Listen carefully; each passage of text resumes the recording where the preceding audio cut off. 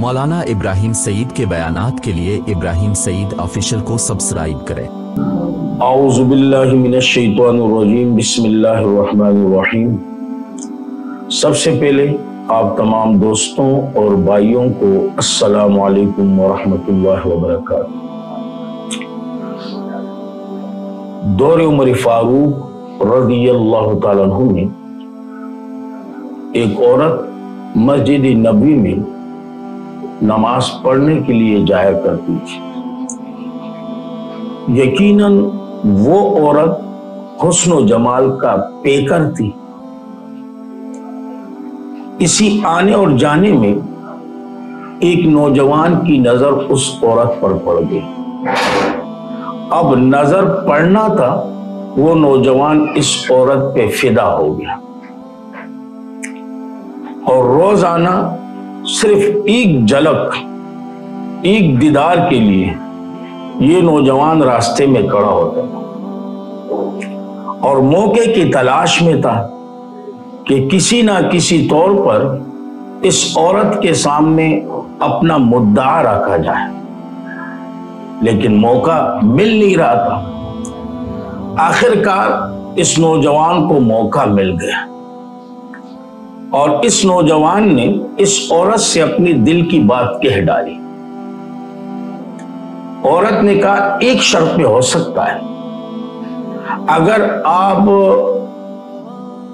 चालीस दिन मस्जिद नबी में हज़रत उमर फारूक रज़ी अल्लाह के पीछे बाजमात नमाज़ पढ़े, यही एक शर्त है। अब आशिक तो आशिक होते हैं। एक तो हमारे दौर के आशिक हैं, ये कम वक्त तो सारे दूध के आशिक हैं। इन विचारों का इश्क का माना भी मालूम नहीं, इश्क का मफहूम भी मालूम नहीं। बस नाम के आशिक बने हुए हैं। काम का कोई भी नहीं है, सारे दूध के आशिक हैं। और यकीन जाने, इनको देखकर मुझे हँसी भी आ जाती है। वो मजनून वाले वाकया सामने आ जाते हैं। लैला थी ना, रोज़ाना कटोरे में दूध मजनू के लिए भेजा करती थी। अब वो दूध मजनू के पास जाने से पहले लाखों मजनू और होते थे, वो पी लेते, खड़प कर लेते। अब एक दिन लेला ने सोचा कि आए रोज दूध का कटोरा भरा जा रहा है और मजनू माशाल्लाह दूध पीता जा रहा है। जरा इम्तिहान भी लू, वाकई मजनू है या कोई और है? खाली कटोरा भेजा और अपनी लौंडी से कहा कि मजनू से कहना कि आज दूध नहीं, बल्कि लैला ने आपका खून मांगा है। अब जैसी वो लोंडी कटोरा लेकर आई, सारे टूट पड़े। पाकिस्तानी थे ना, सारे टूट पड़े उस पर। देखो, कटोरा खाली। अरे वाह, कटोरा खाली कहा जी जो वो जरा है, उन्होंने सारा खजाना खाली किया है। कहा जी अब क्या करें? कहा जी आज दूध नहीं है। आज लैला की फरमाइश है। कहा जी क्या फरमाइश कहा जी लैला ने कहा कि मुझे खून की ज़रूरत है। कहा जी खून वाले आशिक हम नहीं, हम दूध वाले आशिक हैं। अगर खून वाले आशिक की ज़रूरत है ना, वो दरख्त नज़र आ रहा है, उसके नीचे असल मजनू बैठा हुआ है। तो हमारे नौजवान भी सारे दूध के आशिक हैं। तो ये नौजवान तो दूध का आशिक नहीं था। ये तो वाकई इश्क। अब जैसे इन्होंने ये शर्त सुनी, इन्होंने कहा, ये तो एक शर्त है। आपको पा लेने के लिए हज़ारों शर्तें भी मंजूर कहा, जी, आप एक पूरी कर ले, फिर देखेंगे। अब इन्होंने शर्त पे अमल, दरामद शुरू किया। बाजमात नमाज़ पढ़ने के लिए मस्जिद नबी हज़रत उमर फारूक रदी अल्लाह के पीछे आ, बाजमात नमाज़ अदा करना शुरू। कई दिन तक तो ये नज़र उठाकर औरत की तरफ़ देखता रहा दीदार से अपने आप को फैज याफ्ता करता रहा। लेकिन जैसे जैसे दिन गुजरे इस नौजवान की नज़रें जो थी ना इस औरत से उठ गई। अब 40 दिन के करीब करीब एक दिन औरत ने कहा, जी 40 दिन पूरे होने वाले हैं। उन्होंने कहा, जी, अब मुझे आपकी ज़रूरत नहीं। मुझे अपने महबूब हकीकी की मोहब्बत नसीब हो गई। काजी आपने काजी बस, मुझे अपने रब की जो मोहब्बत है ना वो मिल चुकी हैं। और यकीनन रब की मोहब्बत के सामने ये दुनियावी मोहब्बत की कोई हैसियत ही नहीं है। आप सोचे ना इस औरत की जहानत पर किस कदर जहीन औरत थी। अब चंद दिनों के बाद इसी औरत ने अपने खावन से भी कहा। खावन भी बड़े हैरान हुए। अपनी घरवाली की जहानत पर होशियारी पर चालाकी पर बड़ी है, बड़े हैरान हो गए। कि जी, एक बिगड़े हुए नौजवान को किस तरह राय रास पर ले आए? और फिर शोहर ने यही वाकया हज़रत उमर फारूक रज़ी अल्लाह के सामने बयान किया। जैसे यही वाक्य हज़रत उमर फारूक रज़ी अल्लाह के सामने बयान हुआ, हज़रत उमर फारूक रज़ी अल्लाह के आँखों में आँसू आ गए।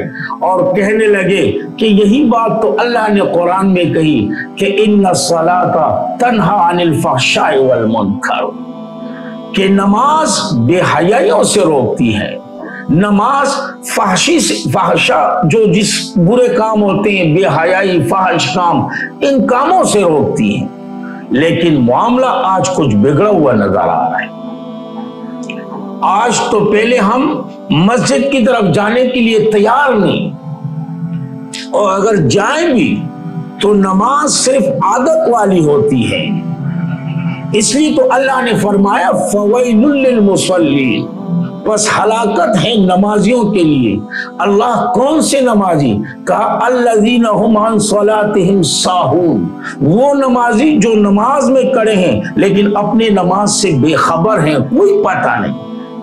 कि जी क्या पढ़ रहे हैं? किसके सामने खड़े हैं? किससे गुफ्तगु हो रही है? किससे मुनाजात हो रही है? कोई खबर नहीं। ये सिर्फ़ आदत वाली नमाज़ है।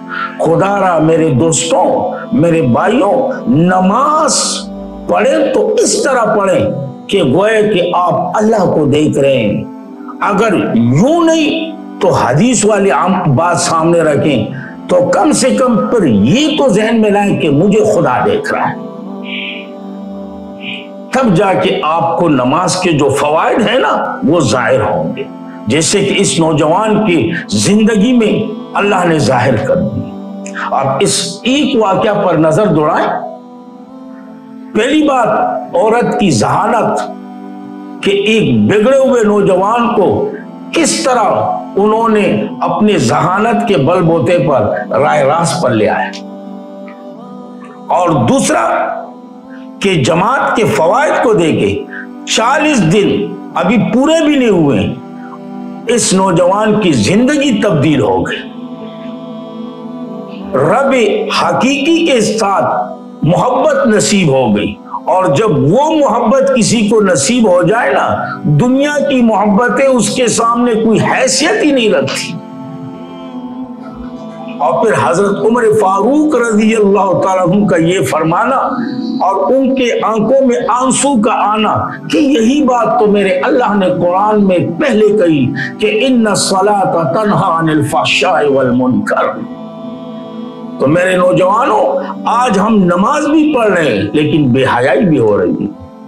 नमाज़ भी पढ़ रहे हैं साथ साथ गुना भी कर रहे हैं, नमाज़ भी पढ़ रहे हैं, चुगलखोरियाँ भी कर रहे हैं, जिना भी हो रहा है, डकैतियाँ भी हो रही हैं, जुर्म पे जुर्म हो रहे हैं। मालूम ये हो रहा है कि हमारी नमाज़ जो है, ये नमाज़ नहीं, ये सिर्फ़ रिवाज और आदत वाली नमाज़ है। अगर ये सही नमाज़ होती तो यकीनन अल्लाह ने सही नमाज़ के मुतालिक फरमाया इन सलाता तनहा अनिल वल मुनकर. अल्लाह करीम हमें सही नमाजी बनाए और अल्लाह करीम हमें सही नमाज़ का पाबंद बनाए। अल्लाह रब्बुल इज़्ज़त अमल करने की तोफ़ी अता फरमाए। व आखिर दावान अल्हम्दुलिल्लाहि रब्बिल आलमीन।